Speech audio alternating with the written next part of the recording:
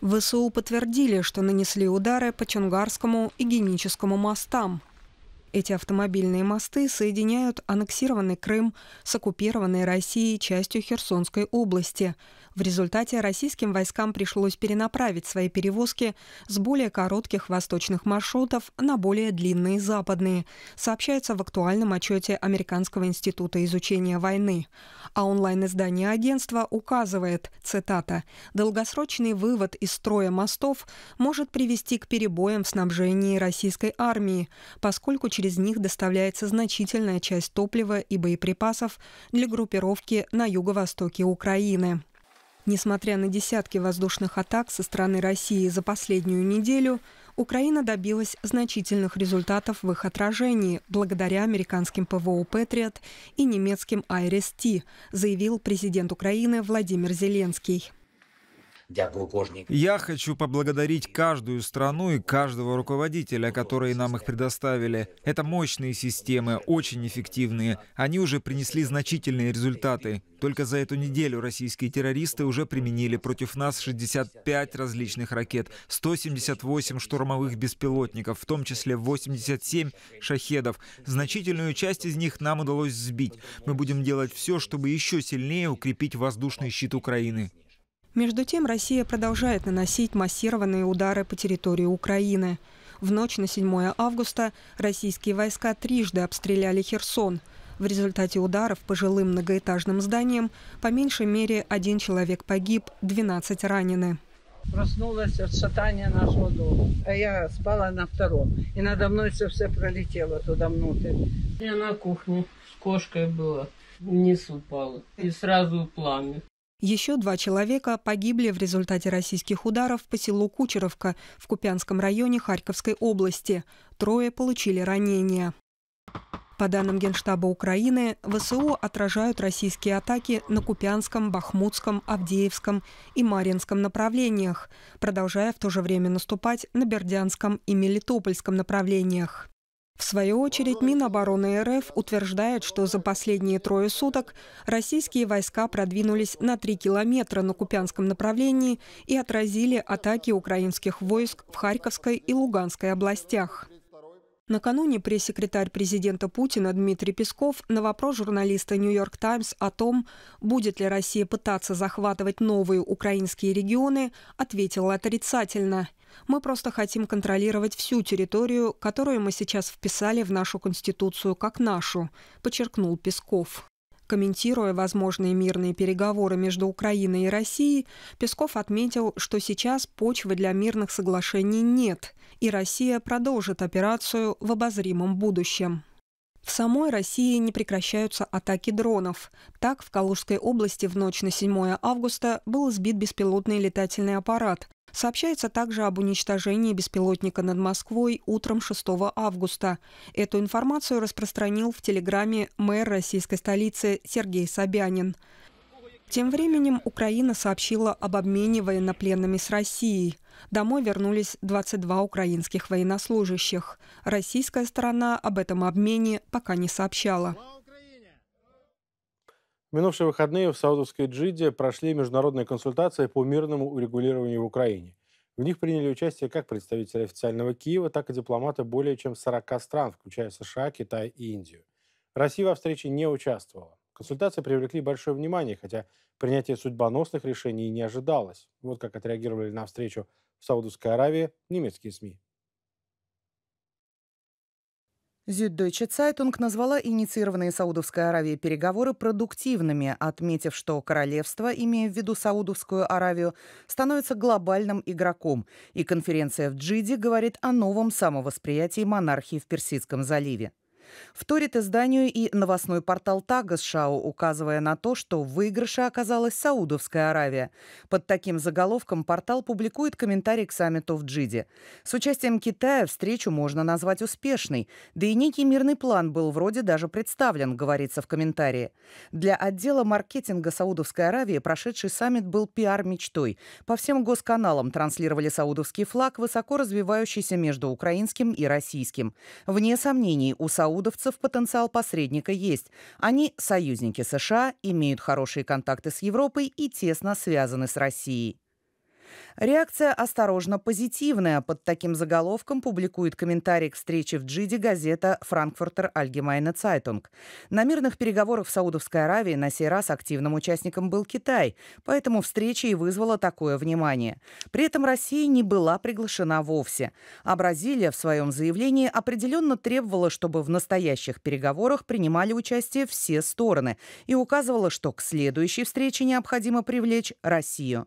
Газета ТАЦ в статье «40 стран мира за прекращение войны» указывает на то, что важность переговоров в Джиде заключалась не столько в каких-либо результатах на бумаге, сколько в том, кто впервые стал участником встречи по войне в Украине.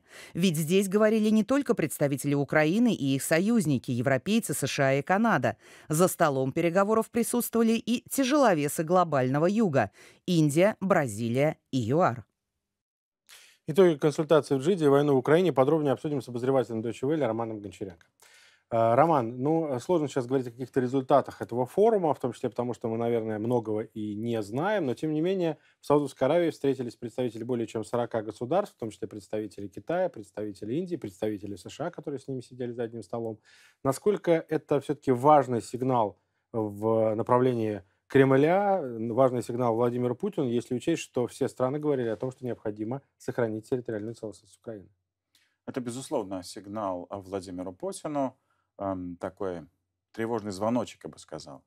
Э, дело в том, что на первой такой встрече в Копенгагене в июне э, было 15 стран, если не, не ошибаюсь. Сейчас чуть более 40, то есть увеличение более чем в два раза. И, конечно, большую роль играет то, что теперь э, к ним присоединился Китай – тяжеловес и, пожалуй, самый близкий партнер, если не сказать союзник России, э, то э, от итогов э, этих консультаций пока мы не можем сказать, э, как быстро поменяется ситуация на дипломатическом фронте, но уже сам факт, что эти люди собрались и обсуждают э, пути выхода и окончания этой войны, это, конечно, очень значимо. Но, с другой стороны, пока мы не получили ни одного сигнала, ни от какой из этих стран, тем более от ключевых для Украины стран глобального юга или Китая, тем более, э, сигнала о том, что они готовы призвать Россию а, покинуть оккупированные территории. А это ключевой для Украины вопрос. Но и самый важный момент, пожалуй, э, на данный, вот в данной ситуации, как, как представляется Россия и ее президент Владимир Путин чувствуют себя относительно уверенно. То есть они постоянно демонстрируют уверенность в том, что они могут удержать фронт, они э, остановили или, скажем так, сильно замедлили украинское наступление, так они об этом говорят. И поэтому на этом фоне э, любые призывы к компромиссу или тем более э, призывы э, вернуть территории, захваченные после 22, 24 февраля 2022 года, э, пока мы не видим из России сигналов, что она готова на это пойти. Между тем и в Киеве давно уже говорят, что не готовы на самом деле к мирным переговорам на данном этапе, потому что не хотят того, чтобы Россия закрепилась на оккупированных территориях. Тем не менее, представители Украины приехали в Джиду, много говорили про нее. Э, глава офиса президента Андрей Ермак провел более 30, по э, данным официального Киева, более 30 встреч. Насколько действительно все-таки позиция Киева тоже, возможно, как-то меняется? Пока трудно сказать. Я думаю, что она вряд ли изменится по ключевым для Украины вопросам, то есть по а, вопросу а, оккупированных территорий. Украина будет по-прежнему настаивать на их полной деоккупации, на полном выводе российских войск. А, Украина а, использует любую дипломатическую площадку для переговоров а, по двум причинам. Первое это переговоры как с теми странами, которые уже поддерживают Украину, а, переговоры о дальнейшей поддержке, это США, это Европейский Союз. И что сейчас гораздо более важно для Украины, это страны глобального юга, попытка перетянуть их на свою сторону, убедить их а, поддержать санкции, убедить их надавить на Россию с тем, чтобы та изменила свою позицию. Поэтому Украина использует любую возможность для этого. И э, встреча в Саудовской Аравии — это, судя по всему, а, не какое-то еди, единичное событие, а его следует рассматривать в контексте подготовки следующих встреч. Вот сейчас речь идет, возможно, о а, саммите, то есть на уровне президентов и премьер-министров этой осенью. Раньше президент Украины Владимир Зеленский не раз уже объявлял такой саммит, но так и не состоялся. То есть, судя по всему, все ждали результатов украинского наступления летом.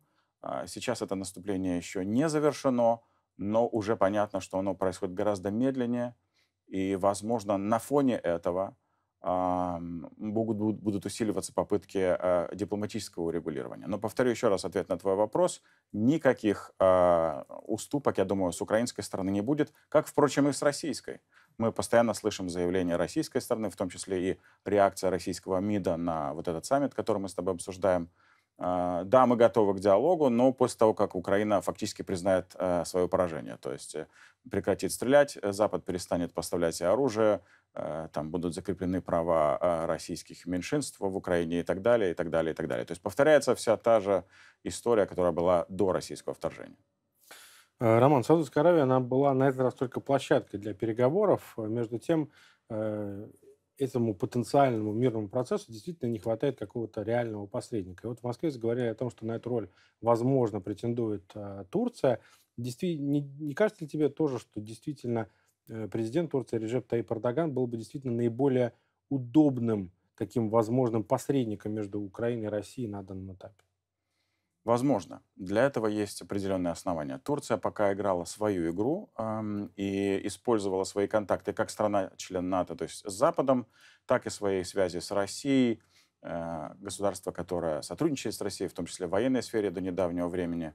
Эм, и Эрдогану удалось эм, заключить первую зерновую сделку. Сейчас Россия из нее вышла, но попытки возобновить ее продолжаются. Э, возможно, они увенчаются успехом каким-то. Это престижный проект для самого Эрдогана. И вот здесь очень важный момент, как мне кажется. Эрдоган некоторое время назад э, пошел на, э, скажем так, небольшую конфронтацию с Москвой, выпустив э, командиров э, украинского батальона «Азов», которые там находились после их освобождения в 2022 году. Хотя договоренность была, что их выпустят уже после окончания войны. Так вот, в Москве очень жестко критиковали это, но тем не менее, уже после этого президент Владимир Путин подтвердил свою готовность встретиться с Эрдоганом. Это говорит очень о многом, как мне кажется.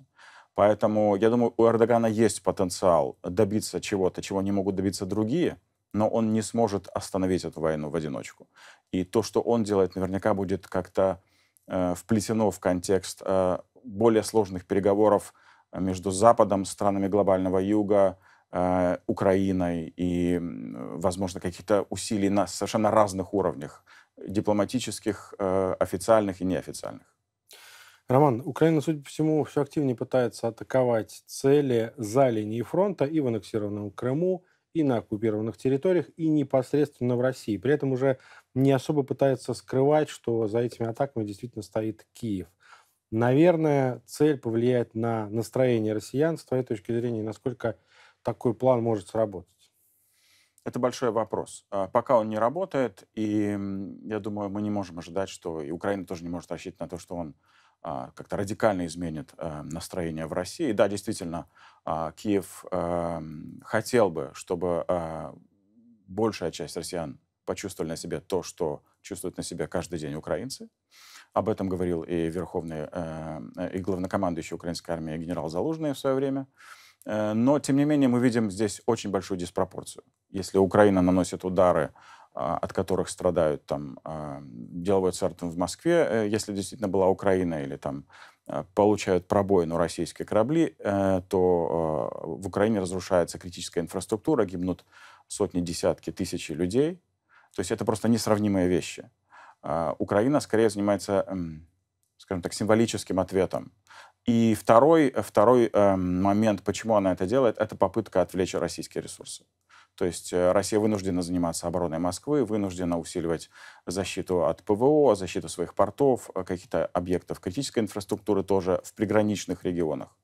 Но эм, если верить опросам общественного мнения в России, а это, конечно, сложно, но тем не менее, они показали, что даже в приграничных районах, которые очень сильно страдают от этой войны, э, российские территории, это Белгородская, Курская область, то там поддержка войны не падает. И если падает, то минимально, на единицы процентов.